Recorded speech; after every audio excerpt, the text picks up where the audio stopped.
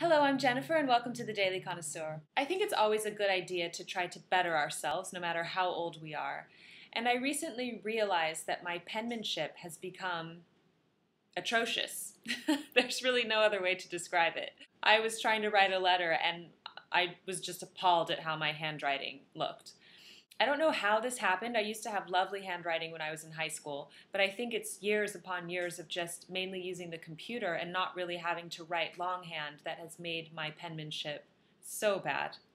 So I started to do some research on how to improve my penmanship, and I came across an article by Nick Rowlands called Eight Easy Tips to Improve Your Handwriting.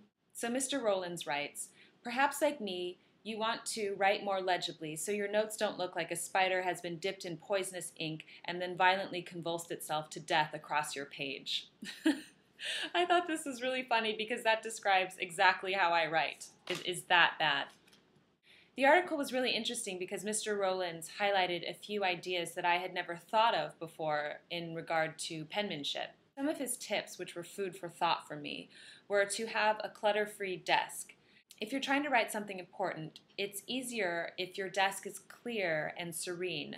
You know, if you have unpaid bills, flowers that need to be thrown out, and a half eaten sandwich, it's going to be harder to write a letter. Also, posture is something to keep in mind.